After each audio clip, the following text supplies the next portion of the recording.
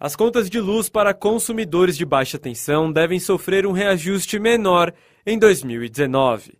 Pelo menos é o que aponta o levantamento feito pela empresa TR Soluções, especializada em tarifas de distribuição de energia elétrica.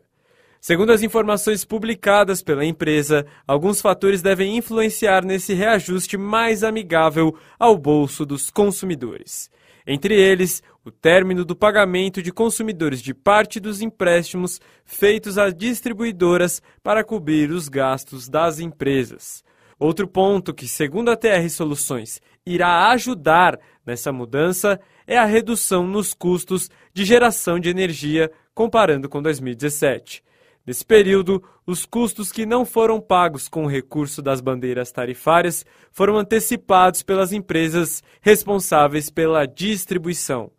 Segundo as informações, a média brasileira dos reajustes fica em 0,38%. A região norte é a que deve ter a maior queda no preço, com um reajuste negativo de 5,03%.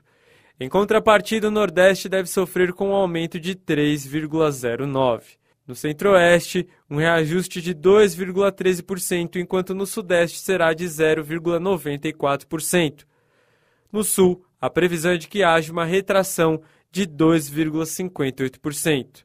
A publicação ainda destaca que em 2018 a variação média das tarifas foi de um aumento de 15% no comparativo com 2017.